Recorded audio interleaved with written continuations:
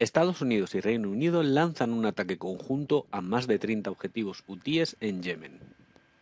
Estos ataques han sido llevados a cabo según el control central del ejército estadounidense como medida de autodefensa contra los misiles antinavales que tenían preparados los hutíes en el Mar Rojo. Los ataques han tenido lugar en 13 diferentes localizaciones y han sido realizados por aviones F-18 que despegaron desde el portaaviones Eisenhower estadounidense y por cazas Typhoon FGR-4 británicos. Los hutíes han mostrado una clara intención de no desescalar sus operaciones pese a la presión británica y estadounidense. La administración de Biden ha indicado que seguramente no sea la última operación.